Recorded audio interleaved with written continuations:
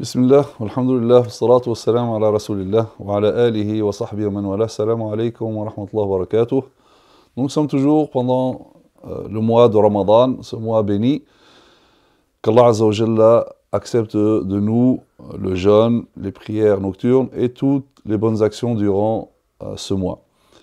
Alors ce mois, il a son lot de, de polémiques, comme chaque année. Donc il y a eu, euh, la polémique du début de Ramadan, la, polémique de la fin de Ramadan, et il y a une polémique donc qui euh, continue pendant presque tout euh, Ramadan, particulièrement aussi vers le, vers le début. Bien sûr, la, la polémique avant Ramadan, c'est le calcul astronomique. La polémique à la fin de Ramadan, c'est la zakat al-fitr. Et une autre polémique sur les musulmans, on aime bien, hein, donc c'est le mois qui est censé être spirituel, loin de toute polémique. Nous, les musulmans, on aime bien hein, la polémique. Et notamment, donc, au milieu, c'est euh, le fait de jeûner selon le calendrier de 12 degrés. Et donc, à partir de là, plein, il y a des personnes donc, qui euh, s'expriment sur ce sujet-là, qui écrivent sur ce sujet-là, considérant que, en fait, tous ceux qui jeûneraient selon le calen- calendrier de 12 degrés, euh, donc leur jeûne est invalide parce que euh, le début de l'aube a commencé avant, donc selon euh, les 18 ou 17 euh, degrés. Alors en réalité, c'est une polémique stérile, encore une fois, c'est une manière pour certains d'imposer toujours un avis par rapport aux autres, pour discréditer les autres, pour faire douter hein, donc une grande partie des musulmans de, de leur jeûne, alors qu'en réalité, si nous revenons du temps des, des pieux prédécesseurs, des compagnons, des tabi'in, les choses étaient beaucoup plus, euh, plus simples. Euh, au moment donc de, euh, de s'abstenir, donc début du jeûne, c'était beaucoup plus souple que nous aujourd'hui. Nous allons citer hein, quelques preuves qui nous prouvent que finalement, plusieurs compagnons, plusieurs tabi'in, donc plusieurs hein, pa- parmi euh, as-salaf, pour eux, euh, ils pouvaient manger et boire jusqu'à ce que la lumière de l'aube, la lumière du jour commence à se répandre. Donc là, on est même au-delà au-delà, hein, du calendrier du 12 degrés.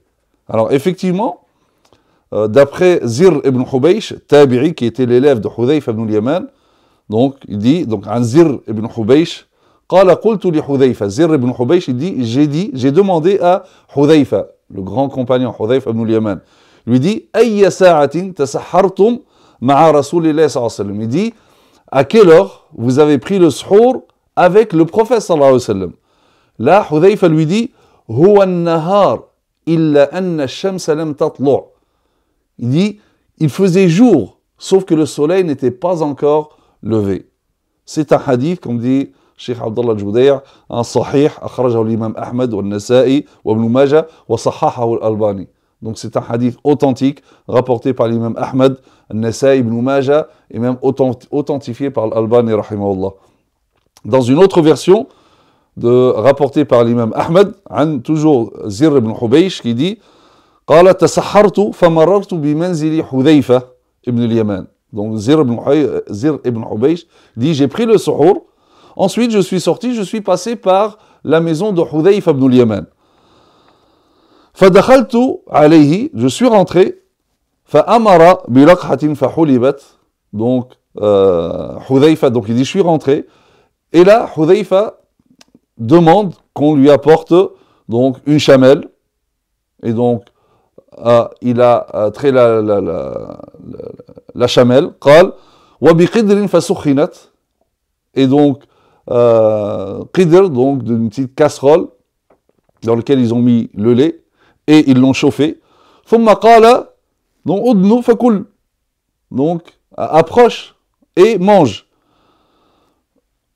Là, Zir lui dit Inni uridu sawm, mais moi je veux jeûner. Donc ça, ça y est, j'ai fait suhour maintenant. hein, il sortait pour aller à la salat. Donc il dit C'est trop tard, j'ai déjà mangé. قال وأنا أريد الصوم. Il dit Moi aussi je veux jeûner.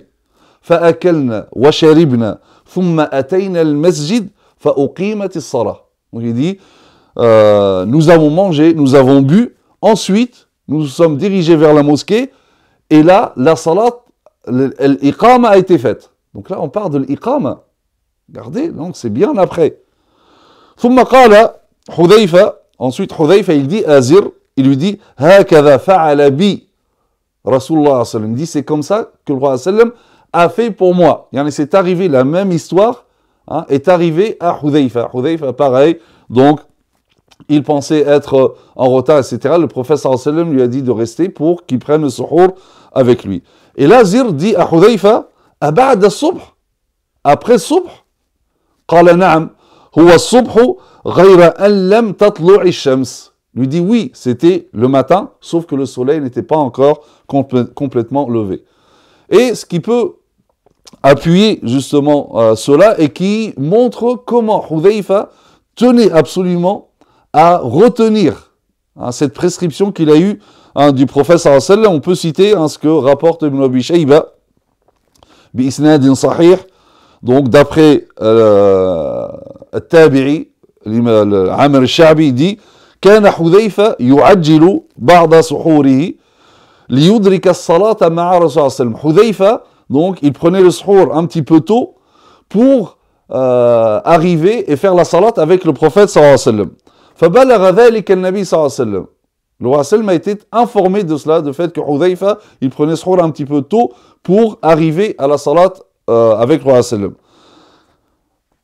فكان يرسل إليه فيأكل معه et donc le roi sallam à partir de là il l'appelait pour qu'il mange avec lui hein, حتى يخرج إلى الصلاة جميعا pour qu'il mange avec lui jusqu'à ce qu'ils sortent tous les deux à la salat donc c'est-à-dire hein, regardez comment ils ont tardé euh, السحور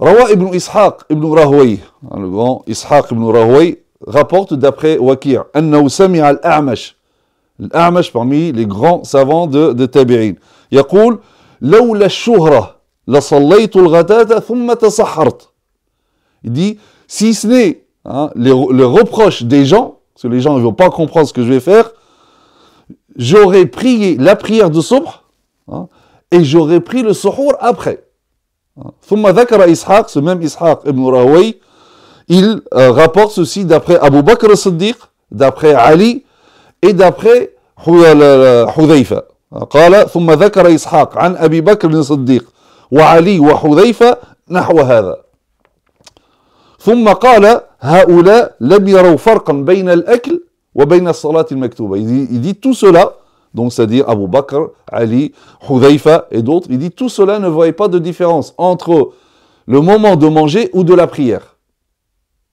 C'est-à-dire que tant qu'il y avait encore le, le, moment de la prière, tu pouvais encore manger. Une autre version du hadith de Zir ibn Hubaysh, قال كان النبي صلى الله عليه وسلم donc d'après Hudayfa ibn al-Yaman Hudayfa il dit كان النبي صلى الله عليه وسلم يتسحر وأنا أرى مواقع النبل il dit donc Hudayfa dit, le prophète prenait son suhour alors que je voyais hein, donc le, le, là où tombait la flèche, lorsqu'on tire la flèche, hein, l'endroit où atterrissait la flèche. Il le voyait, c'est-à-dire qu'il y avait déjà euh, de la lumière. Et c'est pour ça, Zir, il s'étonne en disant, قال هو الصبح أو قال قلت أبعد الصلاة أو أبعد الصبح il lui dit est-ce que c'est après le subh Après le lever du matin قال هو الصبح إلا أنه لم تطلع الشمس Il dit oui, c'était le matin, sauf que le soleil n'était pas encore euh, levé. عن سالم بن عبيد الله تابعي s'appelle Salim ibn عبيد الله il, était, il dit كنت في حجر أبي بكر رضي الله عنه il dit j'étais chez Abu Bakr فصلى ذات ليلة une nuit, donc il faisait sa prière nocturne, Masha Allah, hein, tant qu'Allah Azzawajal la veut. Donc il, me dit, sors et regarde si l'aube est levée. donc Salim ibn Ubaidillah, il sort. il revient et dit, C'est-à-dire que l'aube s'est levée, hein, à tel point que le soleil, enfin le, ciel, il y avait une lueur blanche dans le ciel.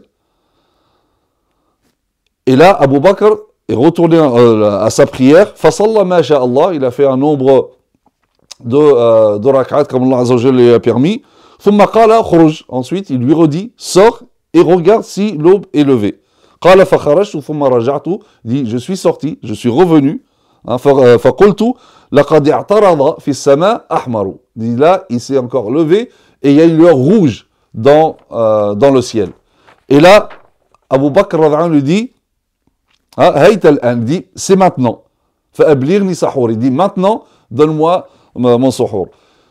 Tous ces récits, toutes ces informations ont fait que le, le grand savant Ibn al-Munzir, رحمه الله, dit, وذهب بعضهم إلى أن المراد بتبين بيان النهار من سواد الليل أن ينتشر البياض في الطرق والسكك والبيوت. Ibn al-Mundhir dit, certains, donc parmi les pieux prédécesseurs, compagnons et tabi'in, donc pour eux, ils ont compris cette distinction entre la, la, la blancheur ou la, la, lumière blanche de, euh, de la, de, du jour et l'obscurité, la différence entre les deux, c'est le fait que la lumière du jour se répande hein, dans les rues et dans les maisons.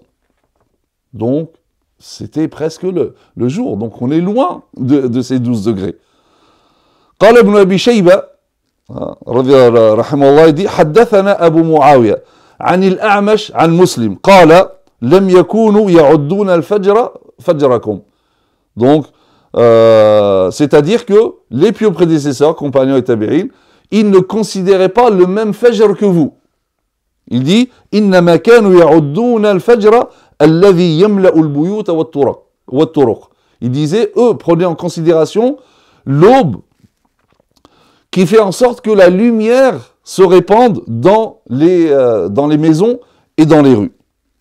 Ma'amar ibn Rashid, l'un des grands tabi'in, donc euh, Ibn Mundhir le rapporte, il dit أنه كان يؤخر السحور حتى يقول الجاهل لا صوم له. Ma'amar, celui-là, il retardait tellement le suhour que n'importe quel ignorant dirait celui-là, son jeûne est invalide. Ibn Mundhir également rapporte d'après بسند صحيح d'après Ali رضي الله عنه أنه صلى الصبح ثم قال الآن حين يتبين الخيط الأبيض من الخيط الأسود من الفجر donc une fois qu'il a fait la prière de subh il dit c'est maintenant une fois qu'il a prié subh il a dit c'est maintenant que se distingue le euh, fil blanc hein, du, euh, du fil noir donc de, de l'aube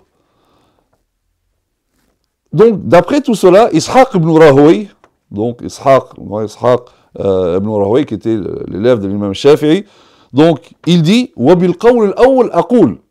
Donc il dit Moi j'adopte le premier avis, c'est-à-dire il faut s'arrêter donc hein, à, à, à l'adhan.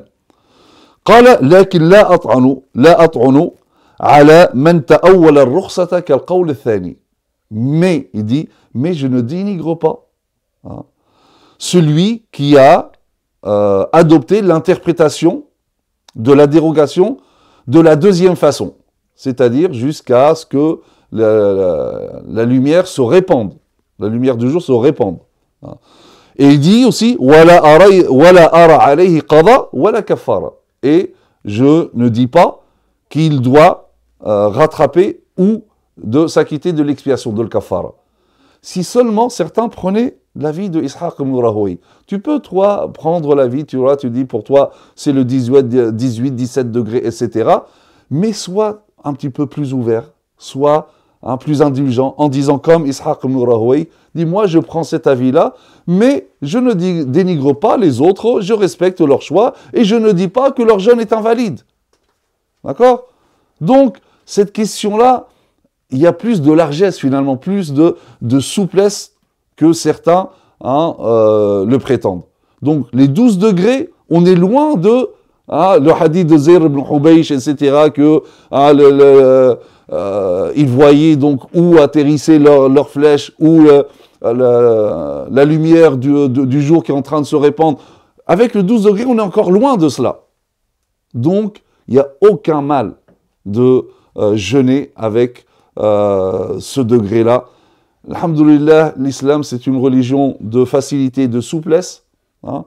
Le tout c'est que chacun respecte la vie qu'il choisit. Hein. Donc voilà, finalement cette polémique c'est une polémique stérile, elle n'a pas euh, lieu d'être, mais le tout c'est d'être informé. Hein. C'est la connaissance qui ouvre l'esprit.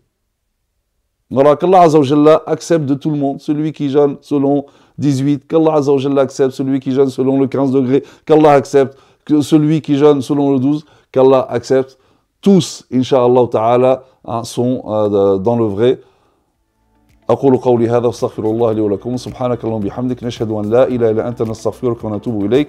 وصلي اللهم على سيدنا محمد وعلى آله وصحبه وسلم تسليما. والسلام عليكم ورحمة الله وبركاته.